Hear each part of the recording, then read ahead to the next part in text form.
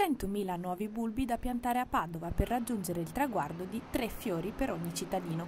L'iniziativa, promossa dall'assessorato al verde pubblico del comune, è partita in questi giorni e i risultati si potranno vedere già tra qualche mese. Saranno i narcisi e i tulipani a colorare la città, come spiega l'assessore Ivo Rossi.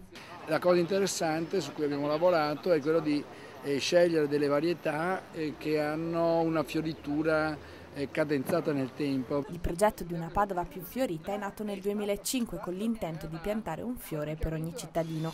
L'anno scorso l'iniziativa si è allargata con l'interramento di altri 250.000 bulbi. Con quelli di quest'anno si raggiungerà quota 600.000, quindi tre fiori simbolici per ogni padovano. Abbiamo scelto di mettere a dimora questi 100.000 bulbi lungo via Tiziano Aspetti, via Guidorini, cioè il percorso del tram.